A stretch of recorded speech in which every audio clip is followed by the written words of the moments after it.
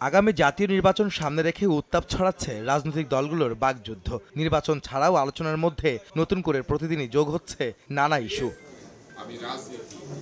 বুধবার দুপুরে Dhaka reporters unity মিলনায়তনে আলোচনা সভার আয়োজন করে গণ অধিকার পরিষদ, যেখানে প্রধান অতিথি ছিলেন বিএনপি মহাসচিব মির্জা ফখরুল ইসলাম আলমগীর। অভিযোগ করেন, নিজেদের স্বার্থে আওয়ামী লীগ সংবিধান সংশোধন করেছে, সরকার প্রতারণা ও মিথ্যাচার করে ক্ষমতায় টিকে আছে বলেও দাবি করেন তিনি। সাধারণ সম্পাদক সাহেব, তিনি বলছেন, গুজবে কান দেবেন না। বিএনপি অনেকগুলো ফ্রন্ট তৈরি করেছে, যে ফ্রন্টগুলোতে তারা এখন পয়সা দিয়ে মিথ্যা গুজব ছড়াচ্ছে। তাদের তো পুরোটাই মিথ্যার উপরে। তো জনগণের সঙ্গে প্রতারণা করে রায়টাকে পর্যন্ত বদলে দিয়ে তোমরা জনগণের সঙ্গে চরম প্রতারণা করেছ। এই রায়ের মধ্যেই ছিল সব কিছুকে চিন্তা করে আরও দুটো নির্বাচন এই তত্ত্বাবধায়ক সরকারের অধীনে হতে পারে। ওই রায়ও বলেছিল।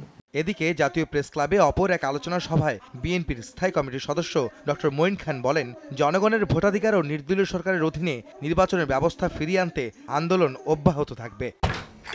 এখন বিকাশ অ্যাপেই পাবেন দেশের প্রথম ডিজিটাল লোন।